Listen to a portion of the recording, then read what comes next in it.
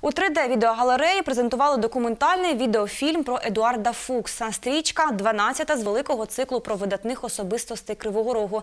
Над фільмом працювали співробітники історико-краєзнавчого музею, член Національної спілки краєзнавців України Ігор Рукавіцин, фотограф Георгій Аргунов і телерадіокомпанія «Рудана».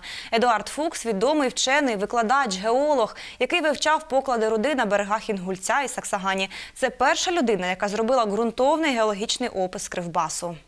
На дуже великий період е, ім'я Едуарда Карловича Фукса було викреслено з історії нашого міста, оскільки ну, як людини репресованої.